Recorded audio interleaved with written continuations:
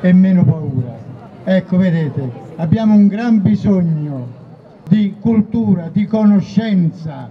Io sono stato volontario in Senegal, insieme a Severino Proserpio abbiamo costruito una scuola, un laboratorio, eccetera. Ma sono stato a Dakar e a, di fronte a Dakar c'è l'isola di Gorée, c'è la grande statua, ci sono 20 milioni di ragazzi portati schiavi nell'Occidente.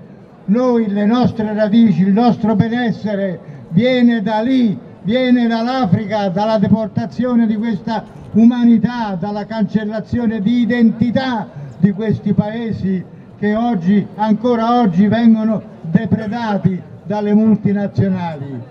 Guardate su internet per favore, guardate che cos'è il Gambia, il Gambia che ha un governo fantoccio inventato da inglesi e francesi e che dal, dall'Oceano Atlantico arriva fino al Centrafrica lungo il fiume Gambia, ma è proprio una striscia ed è fatto unicamente e scientemente per poter depredare tutte le risorse dal Centrafrica fino all'Oceano Atlantico senza dover rendere conto a nessuno. Ecco, abbiamo bisogno di conoscere, abbiamo bisogno di capire che cosa avviene, che cosa sta succedendo. I fenomeni dell'emigrazione è un fenomeno inarrestabile, è un fenomeno che è destinato a essere l'elemento fondante dei prossimi decenni e quindi abbiamo bisogno non soltanto giustamente di essere duramente critici verso una, una politica criminale, ma abbiamo bisogno